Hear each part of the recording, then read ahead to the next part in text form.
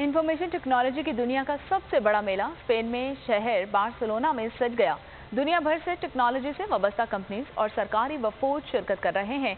पाकिस्तान की नुमाइंदगी information technology के वज़ीर सैयद अमीनुल हक अपने वफ के हमराह कर रहे हैं, मजीद बता रहे हैं। नुमाइंदा बोल न्यूज़ तारिक भट्टी। जी तारिक, आगाह कीजिएगा। पाकिस्तान से पाकिस्तान के इंफॉर्मेशन टेक्नोलॉजी के मिनिस्टर सैयद अमीनुल हक साहब खसूसी तौर पर इस मेले में शिरकत के लिए तशरीफ़ ला चुके हैं। और आप यहाँ से क्या सीख के जा रहे हैं कि पाकिस्तान भी इंफॉर्मेशन टेक्नोलॉजी में कुछ आगे बढ़ेगा? हमारा टारगेट क्या? हमारा टारगेट है कि आईटी एक्सपोर्ट को बढ़ाया जाए। जहाँ हम देखते हैं कि अमेरिका में हमारा आईटी एक्सपोर्ट बहुत ज़्यादा है, बहुत ज़्यादा है। यूरोप में भी हम कंट्रीब्यूट करने जा रहे हैं और साथ साथ हमने एक नई फ़ील्ड यानी मिडिल ईस्ट को भी तलाश किया इन शाला मिडिल ईस्ट में भी आई एक्सपोर्ट को आगे की तरफ़ लेके जाएँगे। सर लास्ट टाइम जब आप तशरीफ़ लाए थे तो हम दौरे हुकूमत पाकिस्तान तरीके इंसाफ की आपकी कुलेशन गवर्नमेंट थी। उस वक्त आपने कहा था कि आईटी में हम बहुत आगे जा रहे हैं। उसकी नस्बत ये 10-11 महीने की हुकूमत में आईटी कहाँ खड़ी है पाकिस्तान?